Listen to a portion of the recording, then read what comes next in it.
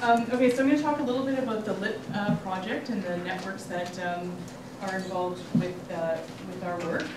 Um, there's two parts to this presentation. I wanna talk a little bit about defining the collaboration through the LIP project, and I wanna talk a little bit about, um, a project we did on network mapping. And I think, uh, it will probably reflect really well with, uh, some of the, um, discussions we've already had today. So for folks who don't know about the LIP project, um, LIP is a, is the Local Immigration Partnership, it's funded by CIC. And the purpose of it is to um, provide a collaborative framework for agencies to uh, work together and provide services for newcomers. Um, uh, the way we set up, I'm going to talk a little bit about the LIP project prior to the merger and then a little bit after the merger. So uh, previous to being Toronto South LIP, we were Toronto East LIP, which was, um, uh, it's, it's, a little crazy, but uh, it'll make sense. Uh, the, our boundaries were from the Don Valley to Victoria Park and the lake to about the St. Clair-ish area. Um, and then I'll talk a little bit about what happened in April when we merged and our, our catchment area got a little bigger. So this is a Toronto East LIP. The way we set it up was we had a partnership council um, that had um, agencies that uh, work with newcomers in our catchment area.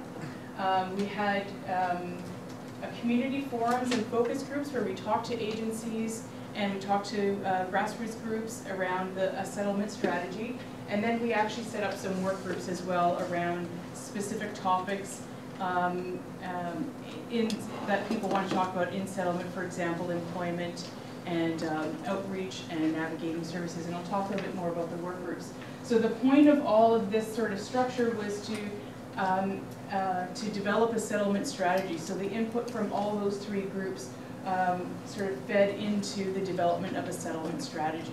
So that's the LIP project in in uh, in general, and all the LIPs. Um, there were 17 across the city, and all 17 sort of had that same um, focus. Um, so this was the how we had structured our, our LIP project. We had our partnership council, and our goal was to develop a strategy, a settlement strategy, and an action plan. We had six general uh, topics, issues, um, and some of them were work groups, some of them were work. So uh, I'll just go through. So we had a labor market out outcomes, um, and we actually actually had two work groups that came out of that. One was an informal employment work group, and one was an employment services work group. So that was in collaboration with the uh, Employment Ontario.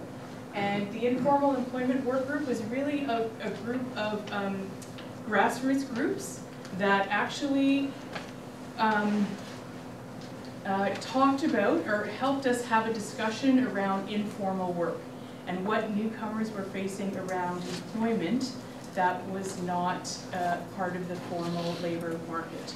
So we just, and we did get some funding uh, at, from Wellesley, and we did a research project on the informal um, infor informal economy, which is actually due out in September? Mm -hmm. Yeah, it's due out in September. So keep your eyes and ears peeled for that, because that's going to be good.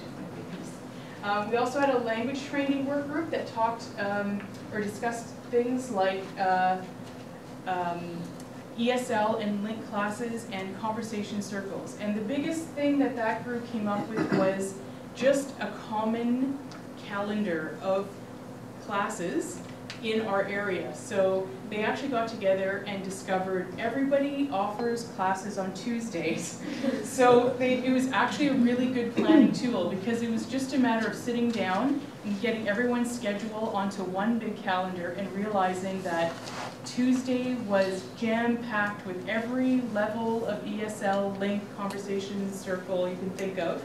And I think Thursdays was the one that was very not so much. So it was just a matter of sharing schedules and then being able to um, um, change it, right? And say, you do Tuesday, I'll do Thursday, you do Wednesday, I'll do Tuesday. So that was a great um, success that came out of that group.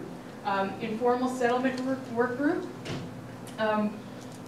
Uh, we, we know that people settle in informal ways. Not everyone goes to a settlement agency. Um, and we know that people settle through their neighbors, through their friends, through their taxi drivers, through their local restaurant, through faith groups, etc. And it was really, we tried to really get a grasp on how to get the correct information, the recent updated information to those groups that, that newcomers actually turn to, probably more than they turn to agencies. So it was really um, trying to develop some kind of strategy of getting that information out to people so that when they're looking for the information and they turn to their closest friends, neighbors, relatives, that they have the information that's current um, and not, you know, from 10 years ago when they actually came to the country. So um, there, that was the, the focus of that group. Um, we had an outreach and information group as well, and what we did with that is we uh, organized a frontline staff network.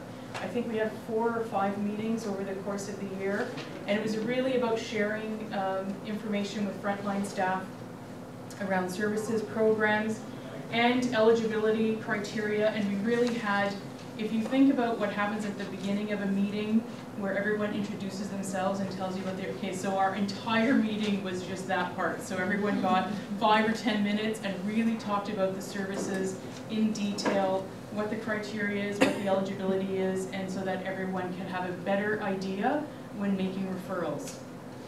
Um, and uh, we had a, a group navigating services, and what we did there is we developed a pathways document. It is on the OCASI wiki if people are interested. I have the address there, and we'll put up the uh, presentations on, on the website for you later.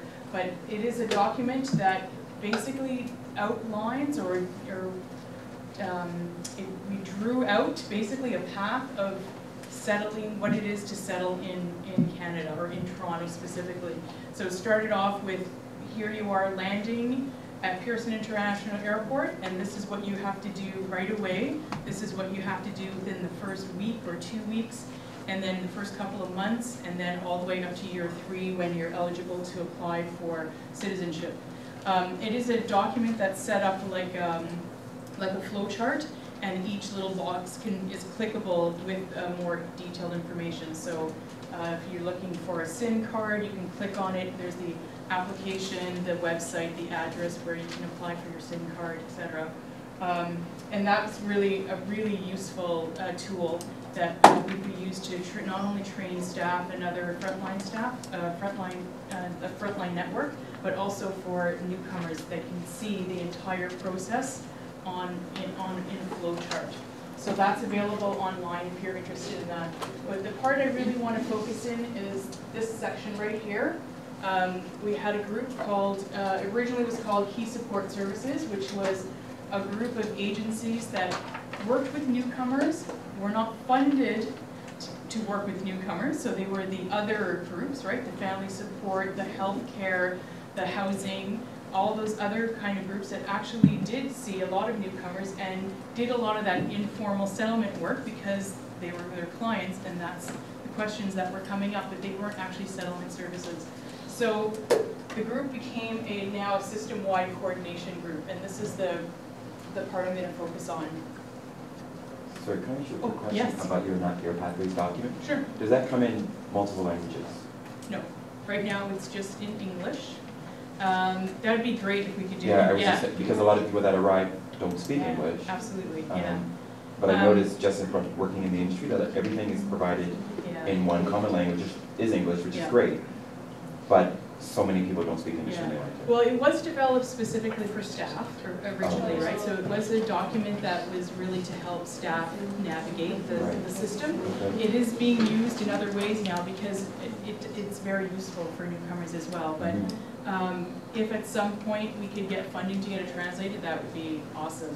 The other thing about it is that it needs a lot of updating because it is really, um, it is an interactive uh, piece and when you click on it, you have, you get the, you know, the application forms and the phone numbers and the websites and so as those things change and, you know, locations move and offices move and Service Canada moves from here to there and whatever, um, you know, we have to keep, we have to keep doing, we have to keep changing it.